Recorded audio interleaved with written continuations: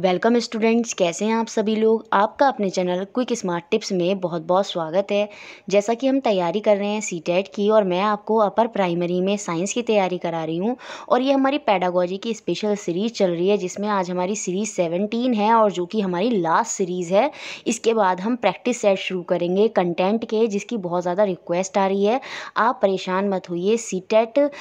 paper आने तक आपकी सी साइंस e की तैयारी कराने की जिम्मेदारी मेरी है क्योंकि आप आपने मुझ पर भरोसा किया है तो आप परेशान मत होइए मैं एक एक चीज़ आपको करा दूंगी सिर्फ कंटेंट और प्रैक्टिस सेट ही रह गए हैं तो वही कराने हैं हमें और वही मैं कराऊंगी थोड़ी सी मेरी तबीयत ऐसी ही चल रही थी इसलिए वीडियो नहीं आई और हो सकता है एक आध दिन और ना आए बाकी मैं पूरी कोशिश करूँगी कि आपको अच्छे से अच्छा कंटेंट मैं दूँ ताकि मेरे सारे स्टूडेंट सी साइंस में बहुत ही अच्छा स्कोर करें तो ये हमारी आज जैसे कि बताया लास्ट सीरीज़ है सीरीज़ सेवनटीन जिसमें हम जून 2011 के साइंस पैडागोजी के क्वेश्चन डिस्कस डिस्कस करेंगे जो हमारे सी टेट में पूछे गए हैं और उनको समझने की कोशिश करेंगे देखिए अगर आपको अभी तक आपने टॉपिक की टॉपिक के प्रीवियस ईयर क्वेश्चन की सी टेट साइंस से रिलेटेड उनकी वीडियोस नहीं देखी हैं तो डिस्क्रिप्शन बॉक्स में प्लेलिस्ट के लिंक हैं तो वहाँ से आप उनको भी देख सकते हैं और नोट्स के लिए टेलीग्राम पर ज्वाइन हमको कर सकते हैं तो आइए शुरू करते हैं आज की क्लास तो आइए देखते हैं किस तरह के question C TET science pedagogy में पूछे गए जून 2011 में पहला क्वेश्चन है while teaching the concept force can change the shape of an object to student a teacher plans the following activities एक शिक्षक विद्यार्थियों को बल वस्तु की आकृति को परिवर्तित कर सकता है संकल्पना को पढ़ाने के लिए बहुत सारी गतिविधियों की योजना बनाती है explain concept using commonly observe example ये सेकेंड पॉइंट नहीं है यहाँ पर थोड़ी नंबरिंग गलत हो गई है अवलोकित उदाहरणों का प्रयोग करते हुए वो संकल्पना को समझाती है जैसे ऑब्जर्व क्या होता है जहाँ बच्चे देखते हैं तो कुछ इस तरह के उदाहरण टीचर देती है फोर्स को लेकर ताकि बच्चों ने देख कर समझ सकें ठीक है फिर क्या करती है टीचर और भी बहुत सारी एक्टिविटी कराती है प्रोवाइडर डॉ आटा दे देती है उनको प्लेट में and ask the student to press it down with the hand हाथ से दबाने के लिए कहती है क्यों क्योंकि यहाँ पर उसको यही तो समझाना है बल जो होता है किसी भी ऑब्जेक्ट की आकृति बदल देता है चेंज द शेप कर देता है जब हम आटे को गूंथेंगे तो होगा क्या आटे की शेप चेंज हो जाएगी तो वो एक्सपेरिमेंट के थ्रू बच्चों से कर करवा रही है टीचर ठीक है और साथ में एक और एक्टिविटी करवाती है show and audio video film explaining the concept with some example दृश्य श्रव्य फिल्म दिखा रही है टीचर तो ये सारी इतनी सारी एक्टिविटी टीचर क्लास में क्यों करवा रही है ये हमें बताना है the teacher is using different approach यहाँ पर वो अलग अलग प्रकार के उपागमों का प्रयोग कर रही है है टू लर्निंग बिकॉज हमें बताना है she want to prove her knowledge वो अपनी नॉलेज को बताना चाहती है कभी भी जो अच्छा टीचर होगा वो क्लास में आके एटीट्यूड नहीं दिखाएगा ये नहीं बताएगा कि देखो मुझे इतना सब कुछ आता है मैं ऐसे कराऊंगा तो वो एक अच्छी शिक्षा की तरफ इशारा नहीं करता तो ये तो नहीं करना चाह रही होगी teacher she knows she must follow her lesson plan lesson plan को फॉलो करने के लिए इतने सारी चीज़ें करवाना भी ठीक नहीं होगा कुछ और ऑब्जेक्टिव होगा ये नहीं होगा objective she want to prepare student for the test test को प्रिपेयर कराने के लिए बच्चों से ना अवलोकन करवाएंगे एक्सपेरिमेंट करवाएंगे इस तरह की चीज़ें ये पर्पज़ से नहीं कराई जाएंगी कि हमें बच्चों का टेस्ट लेना है तो ये भी यहाँ पर गलत हो गया there are different kind of learner in the class and she want to address multiple intelligence जी हाँ भिन्न भिन्न प्रकार के बच्चे होते हैं कक्षा में कुछ बच्चों को तो अवलोकन से समझ में आएगा हो सकता है कुछ बच्चे जब एक्सपेरिमेंट करेंगे आटा वाला तो उन्हें तब समझ में आ जाएगा और हो सकता है कुछ बच्चे बच्चे श्रव्य दृश्य जो फिल्म देखेंगे हो सकता है जिन्हें सुनाई कम आती हो या कुछ दिखाई कम देता हो अलग अलग तरह के बच्चे हैं क्लास में तो उन सबको एक साथ जोड़ते हुए एक साथ कनेक्ट करने के लिए ही टीचर इस तरह की अलग अलग एक्टिविटीज़ करा रही है there are different kind of learner in the class बहुत सारे अलग अलग तरह के विद्यार्थी हैं कक्षा में and she want to address multiple intelligence और उनकी जो बहु बहुबौद्धिकता है उसको बढ़ाने के लिए क्या कर रही है टीचर इस तरह का कार्य कर रही है ताकि सभी बच्चों को समझ में आ जाए सभी बच्चों को साथ लेकर चल रही है समावेशी शिक्षा को इंक्लूड करते हुए टीचर यहाँ पर पढ़ा रही है तो ऑप्शन नंबर फोर यहाँ पर बिल्कुल सही हो जाएगा next question question number second miss Patel जो कि प्रिंसिपल हैं स्कूल एक्स वाई जेड की is keen about integrated approach to teaching of science rather than teaching different discipline separately the basic of this is देखिए integrated approach के बारे में हमने बहुत अच्छे से पैडागोजी के नोट्स में पढ़ा है मिस पटेल जो कि प्राचार्य हैं स्कूल की एक्स वाई जेड की अलग अलग विषय के शिक्षण के स्थान पर विज्ञान शिक्षण में एकीकृत उपागम का प्रयोग करना चाहती हैं इसका आधार देखिए एकीकृत उपागम क्या होता है जहाँ हम अलग अलग सब्जेक्ट को अलग अलग ना पढ़ाकर सभी सब्जेक्ट को एक ही सब्जेक्ट में मर्ज कर कर पढ़ाते हैं जैसे हमने बताया था कि जो साइंस होती है उसके अंदर सभी सब्जेक्ट आ जाते हैं तो टीचर यहाँ पर क्या करता है अलग अलग सब्जेक्टों की क्लास ना लेकर जैसे एनवायरमेंट की क्लास अलग से ना लेकर साइंस में ही एनवायरमेंट को पढ़ा रहे हैं साइंस में ही एस को पढ़ा रहे हैं तो वो आपका इंटीग्रेटेड अप्रोच है तो वो ऐसा क्यों फॉलो करवाना चाहती है हमें ये बताना है non availability of qualified teacher an her school to teach separate discipline देखिए निगेटिव पॉइंट है ये चीज़ें सोचकर कभी टीचर ऐसे काम नहीं करते उनके विद्यालय विद्यालय में अलग अलग विषय पढ़ाने के लिए योग्य शिक्षक नहीं है इसलिए वो ऐसा कर रही है नहीं ये बिल्कुल गलत ऑप्शन हो गया इस तरह की अप्रोच के साथ कभी भी स्कूल में नहीं जाया जाता ये स्कूल के लिए एक बहुत ही निगेटिव पॉइंट हो गया तो ये गलत हो गया difficulty to adjust the teacher in the time table ये फिर से गलत पॉइंट हो गया बच्चों के लिए ऐसे नहीं सोचेगा कभी भी प्रिंसिपल कि हमारे स्कूल में टाइम टेबल एडजस्ट नहीं हो रहा तो इसलिए बच्चों को मर्ज कर दो नहीं ये भी एक बहुत गलत अप्रोच हो गई तो ये भी गलत हो गया कि टाइम टेबल में एडजस्ट नहीं हो पा रहे तो इसलिए सब्जेक्ट मर्ज कर दिए नहीं difficulty of student to adjust to different teacher शिक्षार्थी अलग अलग शिक्षकों के साथ समायोजित नहीं कर पाते ये भी एक अच्छी अप्रोच नहीं है कि अगर बच्चा टीचर को समझ नहीं पा रहा है तो उसको उससे अलग कर दिया गया नहीं नहीं उसकी समस्या समझने की कोशिश की जाएगी उसको समायोजित कराने का पूरा प्रयास करेगा वहाँ पर टीचर तो ये भी यहाँ पर गलत हो गया all the disciplines are interlinked and a teacher can drew on cross curriculum linkage अगर आपने इंटीग्रेटेड अप्रोच पढ़ी थी जो मैंने नोट्स में पढ़ाई थी तो यहाँ आप सीधा ऑप्शन नंबर फोर ही बताएंगे सभी विषय आपस में जुड़े हुए हैं और शिक्षक उनकी पाठ्यचर्याओं के मध्य संबंध जोड़ सकते हैं विज्ञान के थ्रू टीचर बता सकता है कि कैसे साइंस से और भी सब्जेक्ट रिलेट करते हैं हैं क्योंकि सारे सब्जेक्ट एक दूसरे से जुड़े हुए हैं यही तो इंटीग्रेटेड अप्रोच है तो ऑप्शन नंबर फोर ही यहाँ पर बिल्कुल सही हो हो जाएगा टीचर इन सब चीज़ों की तरफ ध्यान दिलाना चाहता है कि सभी सब्जेक्ट एक दूसरे से जुड़े हुए हैं इसलिए ही वो इंटीग्रेटेड अप्रोच को फॉलो कराना चाहता है तो ऑप्शन नंबर फोर यहाँ पर सही हो गया next question question number three a teacher plan to teach component of food in class six which of the following can be used as an essential question एक शिक्षक कक्षा में भोजन के तत्वों को पढ़ाने की योजना बनाता है निम्नलिखित में से किसे मुख्य प्रश्न के रूप में प्रयुक्त किया जा सकता है why does your mother serve you a meal with a variety of food item आपकी माँ विविधतापूर्ण भोज्य पदार्थ का भोजन क्यों देती है यही यहाँ पर होगा देखिए टीचर को टॉपिक पढ़ाना है कंपोनेंट ऑफ फूड जैसे फूड में अलग अलग तरह के अवयव होते हैं जैसे आपके प्रोटीन हो गए फैट हो गए ठीक है मिनरल्स हो गए विटामिन हो गए तो ये सारे कंपोनेंट हैं इस तरह की चीज़ टीचर पढ़ा रही है तो कौन सा क्वेश्चन सबसे अच्छा होगा ये हमें बताना है तो यहाँ पर पहला क्वेश्चन ही सबसे अच्छा होगा कि आपकी मम्मी आपको ऐसी मील क्यों देती हैं जिसमें अलग अलग तरह के फूड आइटम होते हैं जैसे चावल भी देती हैं दाल भी देती हैं रायता भी दे दिया दही भी दे दिया सैलड भी दे दी तो ये अलग अलग तरह के फूड आइटम आपको क्यों देती हैं विविधतापूर्ण वाले भोज्य पदार्थ आपको क्यों देती हैं क्योंकि उनमें अलग अलग तरह के कंपोनेंट्स पाए जाते हैं सभी फूडों में एक तरह के कंपोनेंट्स नहीं होते और यही टॉपिक टीचर समझाना चाहता है और इसी से ये क्वेश्चन रिलेट कर रहा है इसलिए ऑप्शन नंबर वन यहाँ पर सही होगा जैसे दाल में प्रोटीन ज़्यादा होगी चावल में कार्बोहाइड्रेट ज़्यादा होगा ठीक है और आपका दही जो होगा उसमें अलग तरह के बैक्टीरिया होते हैं जो बॉडी में हेल्पफुल होते हैं और जो आपकी सैलड होती है उनमें रफेज होते हैं जो आपके डाइजेशन में हेल्प करते हैं तो इसलिए अलग अलग तरह की वेराइटी ऑफ फूड हमें इसलिए ये दिए जाते हैं क्योंकि उनमें अलग अलग तरह के पोषक तत्व हैं विटामिन हैं अलग अलग तरह के मिनरल्स हैं तो यही यहाँ पर टीचर को समझाना था तो ऑप्शन नंबर ए पहला क्वेश्चन ही यहाँ पर सही होगा बाकी देख लेते हैं does your mother prepare a definite set of food item for your lunch every day क्या आपकी माँ प्रतिदिन दोपहर में एक ही तरह का भोजन बनाती तैयार करती है तो ये क्वेश्चन कंपोनेंट ऑफ फूड से मैच नहीं खा रहा है do you eat all the item serve in your lunch every day यहाँ पर बच्चा आंसर देगा हाँ नहीं खाते या खाते हैं तो यहाँ पर कंपोनेंट ऑफ फूड की बात तो नहीं हो रही कि आप प्रतिदिन भोजन में सभी भोज्य पदार्थ खाते हैं तो यहाँ से बच्चे का टॉपिक क्लियर नहीं होगा list the food item your mother serve in lunch उन भोज्य पदार्थों की सूची बनाइए जिन्हें आपकी माँ दोपहर में देती है तो इससे भी बच्चे कंपोनेंट ऑफ फूड को अच्छे से नहीं समझ पाएंगे पहला ऑप्शन ही यहाँ पर सबसे सही होगा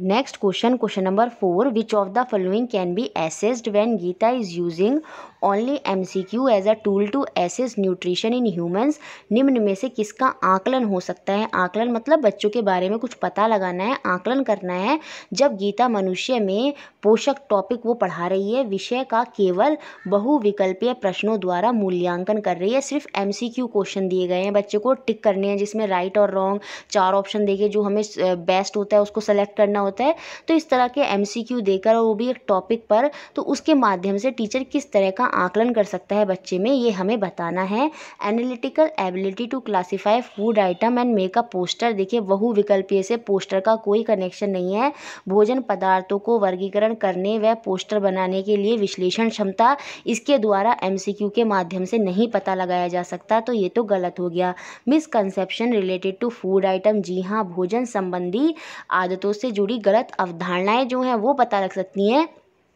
क्योंकि जब चार ऑप्शन टीचर देगा और बच्चे को टिक करना है सही ऑप्शन और बच्चे को नहीं आता होगा तो वो उसको गलत करेगा तो यहाँ पर टीचर को ये पता चल जाएगा कि बच्चे को अवधारणाएँ सही से पता हैं या नहीं पता हैं तो ये चीज़ यहाँ पर हो सकती है बाकी learner ability to apply knowledge and prepare a role play to present in the morning assembly M से मॉर्निंग असेंबली में बच्चे को प्रिपेयर कराना रोल प्ले के लिए ये तो नहीं हो सकता तो ऑप्शन नंबर थ्री भी यहाँ गलत हो गया learner ability to comprehend the important importance of component of food and write a long essay भोजन अवयवों के महत्व को समझाने की शिक्षार्थियों की क्षमता व उस पर एक लंबा निबंध लिखने की क्षमता देखिए लंबा निबंध से एम का कोई कनेक्शन नहीं है तो ऑप्शन नंबर बी ही यहाँ पर सही हो जाएगा जो उनकी गलत अवधारणाएँ हैं उसके बारे में टीचर पता लगा सकती है एम से तो ऑप्शन नंबर बी यहाँ पर सही हो गया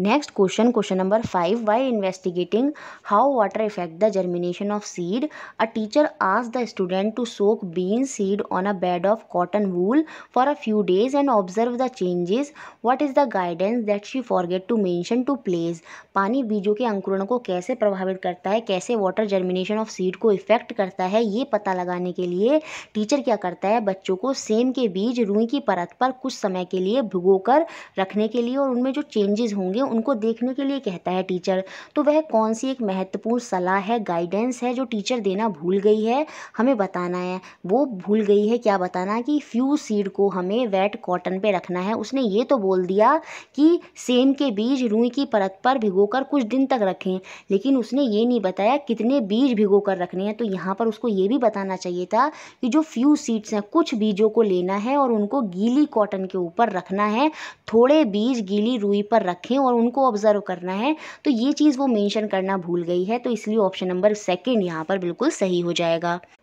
next question question number six four applicant for a post of TGT science were ask to plan a lesson on consequences of deforestation which of the following lesson plan reflect the scientific approach देखिए चार जने चार जो applicant हैं वो post के लिए गए हैं अप्लाई करने टी साइंस की और उनको बोला गया कि आप इस लेसन पर कॉन्सिक्वेंसेज ऑफ डिफॉरेस्टेशन पर लेसन प्लान बनाइए तो हमें बताना है किसका लेसन प्लान साइंटिफिक अप्रोच को रिफ्लेक्ट करता है बताता है ठीक है टी विज्ञान के पद के लिए लिए चार प्रत्याशियों को वन काटने के परिणाम पर एक एक पाठ योजना बनाने के लिए कहा गया निम्न में से कौन सी पाठ योजना वैज्ञानिक उपागम प्रदर्शित करती है साइंटिफिक अप्रोच बताती है ये हमें बताना है explain in detail the consequences of deforestation one काटने के परिणामों को विस्तार से समझाती है देखिए सिर्फ एक्सप्लेन करना साइंस में एक अच्छी अप्रोच नहीं है ये आपने कितनी वीडियोज़ में मैंने आपको बता दिया है तो ये ऑप्शन वहाँ पर बाहर हो जाएगा पहला option provide a variety of example to explain the concept संप्रत्यय को समझाने के लिए अनेक प्रकार के उदाहरण प्रस्तुत करती है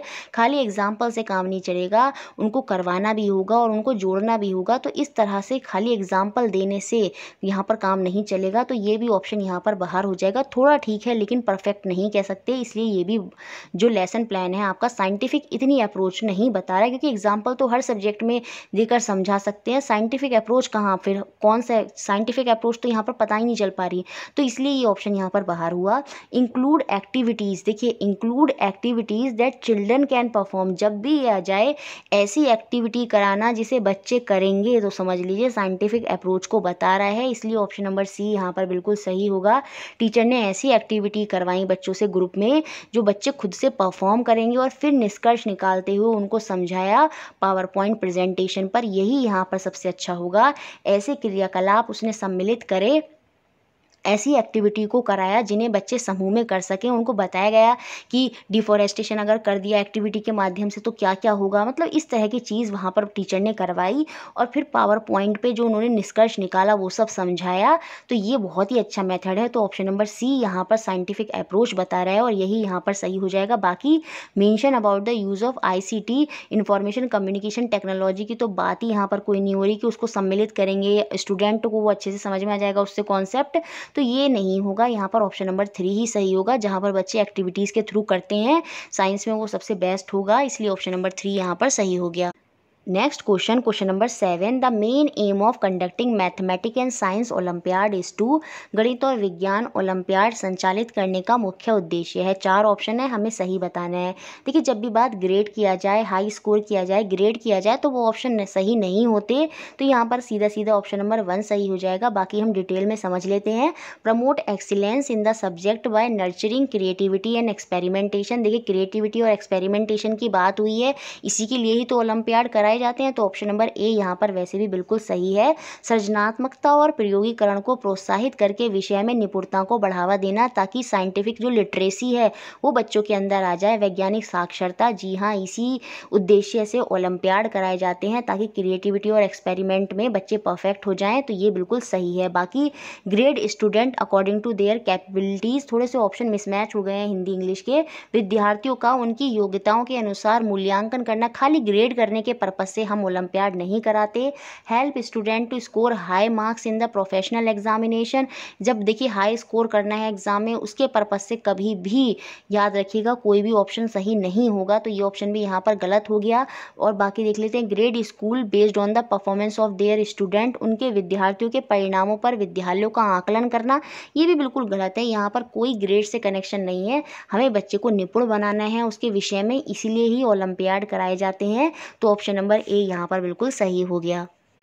next question question number eight while selecting a performance task to help student develop research oriented skill in a science class a teacher may pick up a topic देखिए बच्चे के अंदर हमें रिसर्च ओरिएंटेड स्किल को develop करना है science class में तो टीचर को किस तरह से टॉपिक को पिक करना चाहिए ताकि बच्चे के अंदर रिसर्च ओरिएंटेड स्किल डेवलप हो ये हमें बताना है विज्ञान की कक्षा में विद्यार्थियों में शोध कार्य से संबंधित दक्षताओं का विकास करने के लिए शिक्षक पाठ का चुनाव करेगा देखिए बच्चे के अंदर हमें रिसर्च स्किल को डेवलप करना है तो टीचर को कौन सा टॉपिक पिक करना है ये हमें बताना है from the content given in the syllabus which must be completed in time पाठ्यक्रम में दी गई सामग्री को निर्धारित समय से पूरा कराना है इससे बच्चे के अंदर आपको लगता है रिसर्च स्किल से कोई कनेक्शन है इसका नहीं तो ये ऑप्शन तो यहाँ पर बाहर हो गया which majority of student in a class find interesting देखिए इससे रिसर्च ओरिएंटेड स्किल का कोई कनेक्शन नहीं है जिसे कक्षा के अधिकतर विद्यार्थी पसंद करते हैं कुछ विद्यार्थी कह रहे हैं ये कराइए कुछ विद्यार्थी गलती कह रहे हैं ये कराइए नहीं इस तरह से बच्चे के अंदर रिसर्च स्किल डेवलप नहीं होगी तो ये ऑप्शन भी अच्छा नहीं है which she think is important for the student जो टीचर को लगता है वो वह जिसे वह सोचती है कि विद्यार्थियों के लिए महत्वपूर्ण है नहीं इससे भी बच्चे के अंदर रिसर्च स्किल नहीं डेवलप होगी कि उसमें टीचर को लग रहा है ये टॉपिक इंपॉर्टेंट है हो सकता है बच्चे को वो बहुत डिफ़िकल्ट लग रहा हो तो ये ऑप्शन भी इतना सही नहीं होगा relate to a problem faced by the student in their day to day functioning देखिए डे टू डे लाइफ की बात आ गई day to day functioning and which is the part of the concept to be covered from this class जी हाँ जो विद्यार्थियों के दैनिक जीवन से संबंधित हो सम दैनिक जीवन से संबंधित समस्या से हो ऐसा टॉपिक वो पिक करेगी और उस कक्षा के पाठ्यक्रम का भी भाग हो तो जी हाँ वो बच्चे के अंदर रिसर्च स्किल को डेवलप करना चाहती है तो उसके लिए वो ऐसा टॉपिक चुनेगी जो बच्चों के डेली लाइफ से संबंधित हो ताकि बच्चे खुद से रिसर्च कर सकें नेट से ना कॉपी पेस्ट करें तो इस तरह का टॉपिक वहाँ पर वो सेलेक्ट करेगी और साथ में ये भी ध्यान में रखेगी कि वो बच्चे की क्लास में भी हुआ हो पाठ्यक्रम का भी वो भाग हो तो ऑप्शन नंबर फोर ही यहाँ पर बिल्कुल सही हो जाएगा next question question number nine a science teacher plan group activities to teach properties of air to her student of class six देखिए क्लास सिक्स के स्टूडेंट को प्रॉपर्टीज़ ऑफ एयर पढ़ाना है जिसके लिए टीचर चाहता है कि बच्चे ग्रुप्स में डिवाइड हों ग्रुप एक्टिविटी के थ्रू वो उनसे कराना चाहती है which one set of attribute would she like to have in the student she select as a group leaders देखिए कुछ बच्चों को वो ग्रुप लीडर बनाती है जो उन ग्रुप में रहेंगे तो वो कौन से गुण होंगे जिनके आधार पर उन बच्चों को ग्रुप लीडर बनाया गया है वह वह विज्ञान शिक्षक एक विज्ञान शिक्षक कक्षा छः के विद्यार्थियों को हवा के गुण पढ़ाने के लिए समूह में क्रियाकलाप कराने की योजना बनाती है वह समूह का नेतृत्व करने वाले विद्यार्थियों का चयन किन गुणों के आधार पर करेगी क्या चीज़ों को वो ध्यान में रखेगी जिस बच्चे को जिन बच्चों को ग्रुप का लीडर बनाना है ये हमें बताना है freedom to choose role work at their own place and understanding जी नहीं ऐसा बच्चा वो ग्रुप लीडर नहीं बनाना चाहिए जो उनको फ्रीडम देगा बच्चों को कि आप खुद से करिए अपने घर पर करें करिए अपनी तरह से समझिए जब बच्चे अपने अपने घरों पर काम करेंगे तो वो ग्रुप कहाँ रह जाएगा तो ये ऑप्शन तो हो गया बाहर इस तरह के बच्चे को यहाँ पर ग्रुप लीडर नहीं बनाया जाएगा जो ऑर्डरिंग करेगा स्टूडेंट को to take role and deliver in consonance for their understanding उनकी समझ के अनुसार कार्य करवाना नहीं ऐसा लीडर भी नहीं होगा जो बच्चों से ये कहेगा कि आप अपनी समझ के अकॉर्डिंग कार्य करें ग्रुप में ठीक है तो और फिर इस तरह के ऑर्डर दे रहा है कि बच्चे अपने अकॉर्डिंग ही कर सकते हैं तो ये भी एक अच्छा लीडर की तरफ इशारा नहीं कर रहा है giving major role to the brighter student to ensure the group finishes first नहीं एक ऐसा लीडर बिल्कुल नहीं सेलेक्ट करना चाहेगी टीचर जो ये सोचता हो कि पहले जो बच्चे होशियार हैं पढ़ने में उनको चांस मिले ताकि उनका ग्रुप पहले कार्य कर ले नहीं इस तरह से लीडर नहीं बनाएगी teacher assigning role as per their capability motivating and coordinating among the group member जी हाँ एक ऐसा ही तो ग्रुप लीडर लीडर कहलाता है जो क्या करता है उनको उनकी रोल उनकी क्षमता के आधार पर क्या करेगा रोल्स देगा उनको मोटिवेट करेगा साथ में उनको कोऑर्डिनेट करेगा ग्रुप मेंबर में योग्यता के अनुसार भूमिका देना प्रोत्साहित करना वह सभी समूह सदस्यों के साथ समन्वय बनाए रखना जी हाँ तभी तो ग्रुप में एक अच्छी एक्टिविटी हो पाएगी और एक अच्छा ग्रुप लीडर वो इसी के अकॉर्डिंग सेलेक्ट करेगी कि जो कैसा होगा जो उनकी कैपेबिलिटी के अकॉर्डिंग उनको रोल देगा मोटिवेट करेगा कोऑर्डिनेट करेगा पूरे ग्रुप मेंबर को तो ऑप्शन नंबर फोर यहाँ पर बिल्कुल सही हो गया नेक्स्ट और last question question number ten most board of education have ban the dissection of animal because अधिकतर शिक्षा बोर्ड ने पशु के विच्छेदन पर प्रतिबंध लगाया है क्योंकि देखिए डिसेक्शन का मतलब होता है स्टडी वगैरह के लिए एनिमल को काटना तो उस चीज़ पर बहुत से स्कूलों ने एजुकेशन बोर्ड ने क्यों बैन लगाया है ये हमें बताना है animal are no longer available for dissection पशु विच्छेदन के लिए उपलब्ध नहीं है ये बिल्कुल गलत ऑप्शन है procuring animal procuring animal has become an expensive proportion पशु को प्राप्त करना एक महंगा सौदा हो गया ये ऑप्शन भी गलत हो जाएगा there is a need to sensitize student to prevention of cruelty to animal जी हाँ पशु के प्रति जो क्रूरता हो रही है उसको रोकने के लिए विद्यार्थियों को संवेदनशील करने की आवश्यकता है इसीलिए ही इस चीज़ को बैन करा गया है ताकि जो बच्चे हैं वो उनके प्रति संवेदनशील हों उनसे अटैच हों और जो क्रूरता एनिमल्स पर हो रही है वो कम हो जाए इसीलिए ही इसको बैन करने की कोशिश की गई है ऑप्शन नंबर थ्री ही यहाँ पर बिल्कुल सही होगा बाकी कि वह नए रोग फैला सकते हैं ये ऑप्शन नहीं होगा तो ऑप्शन नंबर थ्री सही हो गया